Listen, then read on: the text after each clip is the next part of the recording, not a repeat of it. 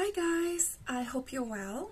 Um, I'm making this uh, short video to answer one of the very frequent questions I've been getting from from you, the readers, with regards to my new book that I'm currently writing uh, called um, Finding Tree Love.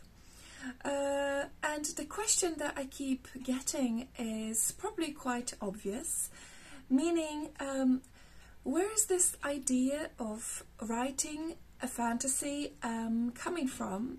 How did I get the idea of writing a pure fantasy story um, from, and and how did it just even start?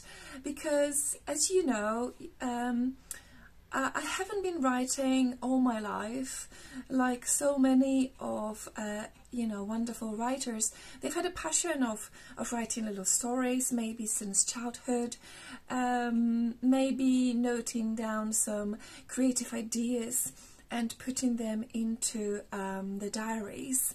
I've I've never done it. I, I have not been this kind of a person. Um, I published uh, my best-selling memoir, which is now a best-selling uh, book um, out there um, in 2018. As you know, I self-published it. I wrote it very quickly, within only just one month, and within three months of editing and proofreading it, it was it was out there for you to read, um, and I consider that as a miracle in itself because, as I say, I, I've never ever, you know, done this before, and um, suddenly um, I'm getting this idea that I'm writing about, which is a, a pure fantasy story about a prince called Rupert that gets turned into a tree, and the whole story evolves around it. What is going to happen next? Um, how is he going to get out of this? Um, how is he going to find out what true love is? Because after all, the title of my of my book of my story is um, Finding Tree Love, which is a play on words, as you can probably hear and imagine. It's it's almost like finding true love, but it is actually finding tree love. So um, the que- the answer to this question is um, kind of straightforward. Um, and and not. I mean, it it can sound again very uh, unreal and um, out of this world. However, this is how it happened. As I was writing uh, Polish Girl in Pursuit of the English Dream, um, my best-selling book, which you have been uh, reading for four years now, um, I, I used to go for very long walks in Windsor Great Park um, to gather my thoughts, um, to meditate, to be close to nature. And as you know, Windsor Great Park is full of fantastic, amazing, beautiful trees, and many of them are very old oaks. Uh, very old trees, uh, more than even 600 years old. They are stunning, they are majestic, they are gorgeous. Um, and also watching the deer, the queen's deer at the distance, the huge herds of deer um, just, you know, strolling through the, the fields, you know, hiding in between those trees and oaks. Uh, it obviously must have had an, an important impact on me uh, because just as I was finishing Polish Girl, just before I remember I even published it um, in 2018. Um, I suddenly woke up at like five o'clock in the morning and I had this idea of a prince that is turned into an, an oak. And guess what? I, I opened my laptop and I started writing and this is how the first chapter of this new book um, magically appeared. And I have no idea where all this came from. I had no idea where I got this idea from. It just literally like downloaded from up there, from the universe, from God, from nature, from your intuition, from your subconscious, whichever way you you can choose to to believe in. I, I say it's an inspiration from God, higher power, um, high consciousness. Because, as I say, I had never ever done this before, and such creative ideas had never come to me before. And I partially attribute it also to my spiritual awakening and spiritual enlightenment um, that I have experienced, which I described, uh, as you well know if you read my memoir, Polish Girl, um, right at the end of the story. So I have um, come from this place of yes, not being able to create anything so incredible and creative in my life to suddenly getting inspiring ideas because of my trans transformation um, and my spiritual development.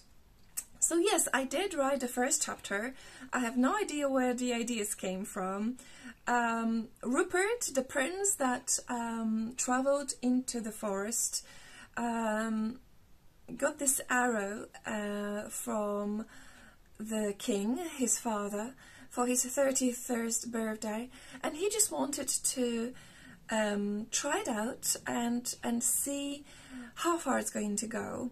So um, the in short, the story is he fires the arrow uh, into a tree um, just to test it out, but unfortunately. Um, a massive, gigantic deer stands right in front of it, uh, just as he has done it. So it's too late for him to to stop the arrow, and it's almost too late to do anything to rescue the poor deer. So he kills that deer.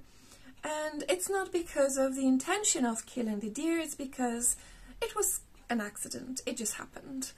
But as a punishment uh, for doing that, um, because in the kingdom of, you know, Wonderland, um, forestry, and everything else, it's definitely forbidden to kill the deer. He's going to be turned into a tree and stay in that forest forever um, as a punishment. Uh, and this is how the first chapter starts. This is how the story slowly evolves with this tragic moment of turning wonderful, handsome prince Rupert into an old oak. Even though, as he later finds out, he's not really old for an oak because oaks can live for hundreds of years and he's only going to be like just over a hundred years old. So he's going to be pretty, pretty young oak.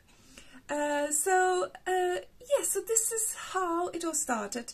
So as you as you know, I published my, memoir Polish Girl in 2018. So it's been a few years now, and I haven't been able because of many personal issues and problems and a lot of stresses in my life to to continue um, regularly to add into my story. I have been writing uh, additional chapters and and creating the story on and off just as I had a time to relax to get some creativity inside of me and put it all down. So it has been an on and off process, completely different to writing Polish Girl, which I literally downloaded within a month. Um, but it was also a different type of a of a, of, a, of writing because you know when when I wrote about my life and things that happened in my life, I already knew what happened all I had to do was to um, to write it down, which was one of the most difficult processes of my life. It was definitely um, cathartic and and cleansing for my my soul and my body. It healed me. Uh, writing my memoir healed me because I went through all the emotions that I had trapped in me in order to put them down on paper and and share my true story with every single one of you. So, the process of writing this fantasy, this uh, magical, crazy story is totally different because I have to imagine things before I am able to write them all down. So, I don't know if you've ever tried writing a book about something that doesn't exist. It hasn't happened. It's not your past, it's not a true story, but it's something that you're creating. How difficult is it to um, to even start? Where do you start and what happens next? If you've ever tried, I'm sure you appreciate the process. If you haven't, I encourage you to try to to see how difficult it is. Whether you can actually write about something that ha hasn't happened in real life. It's not real. It's it's a complete fantasy world. Um, so it's it's definitely something I I can encourage you to do. And I can honestly say it's not easy. It's definitely not easy. It's challenging. It's it's also emotionally draining at times, especially because it's going to be a very deep story. It's going to be a book mainly for for adults or young adults or teenagers, even though it's a story about a prince in a tree and there's going to be talking, walking animals and magic and fairy tale like creatures and, and story around it.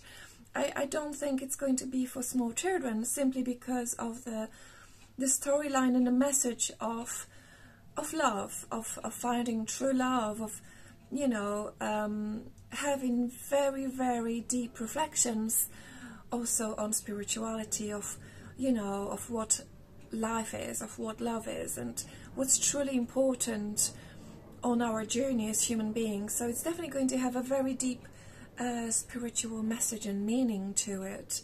Also, some scenes may seem a little bit naughty for some of you, but it's not going to be too bad. However, there's definitely going to be love and romance. Obviously, it has to be. It's about finding true love or tree love, um, even though one of the main characters is a tree and the other one is actually a woman, a girl called Amara.